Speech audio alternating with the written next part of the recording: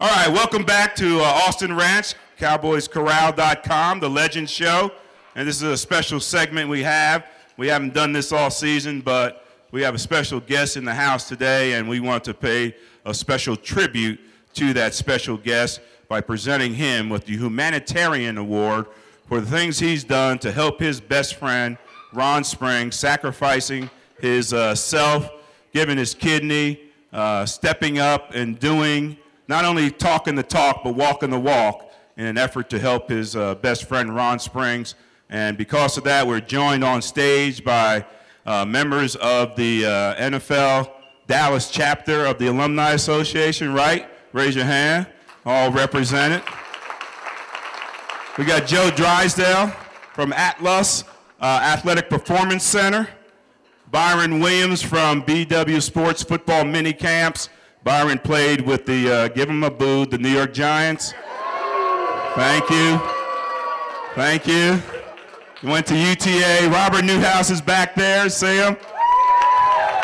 Give him a hand. And uh, this is a special tribute we're going to do to Everson Walls. Everson, I know you're a little surprised by this, and maybe that's why you're turning red a little bit, but uh, we wanted to do this because of the sacrifice you made to help a good friend. But not only that, the things you did way before this became public and uh, people's knowledge, the things you have been to Ron and his family uh, through a, a number of years as he was going through this ordeal.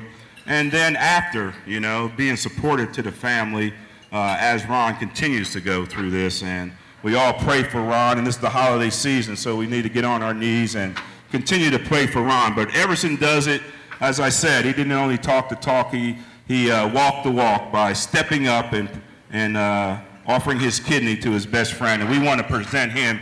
And Byron Williams is going to do that, present Everson. And Byron, you can read what it says and uh, present that to Everson. uh, on behalf of the NFL Player Association, AFLO, uh, Environment Athletes, and everyone here, uh, this is in special recognition to your unparalleled commitment and unselfishness, ded dedication to your teammate and friend through honoring you as a true leader in our community. On, presented to you on the 14th day of December 2008.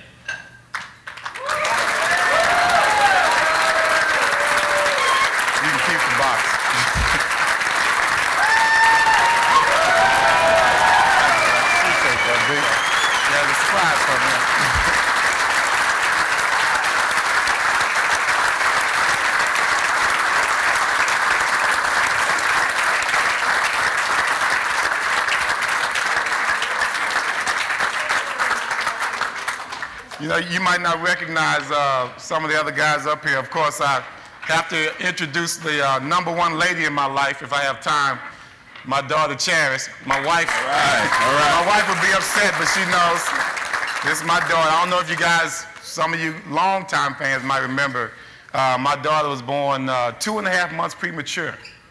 And we didn't think she was going to make it, but she made it, obviously. She's here right here next to me right now. And, uh, you know, she's got a lot of talent. She can sing. And we went, we tried out, I'm not going to make you sing. She, she tried out for American Idol, uh, what, last year at Texas Stadium. And I went out there with her. It was the, the worst experience of my life. It was great for her because it was so hot out there.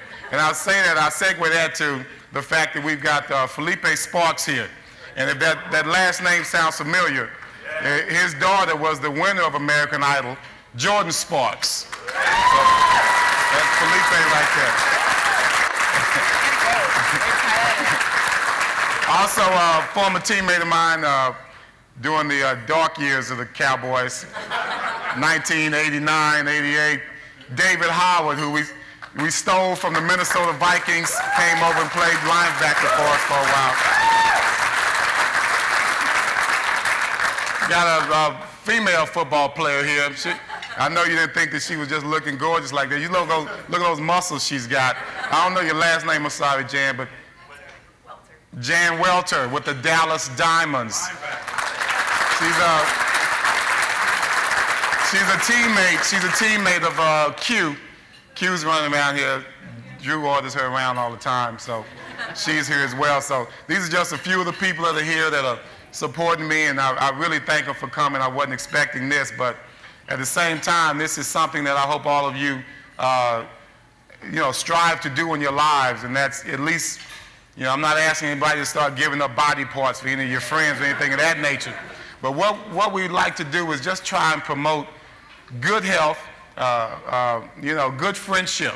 And that starts from, from uh, the, the time that you're children. You know, childhood obesity is uh, also a goal of the foundation that I spoke of, the Ron Springs and Everson Walls Gift for Life Foundation, because childhood obesity directly leads to onset di diabetes and kidney disease. So, you know, just, to, just that among other things. Everyone just trying to live a good life, do good things, not just for yourself, but unselfishly for uh, the people and loved ones around you. Thank you very much. Amen. Amen. Give it up for Everson Walls.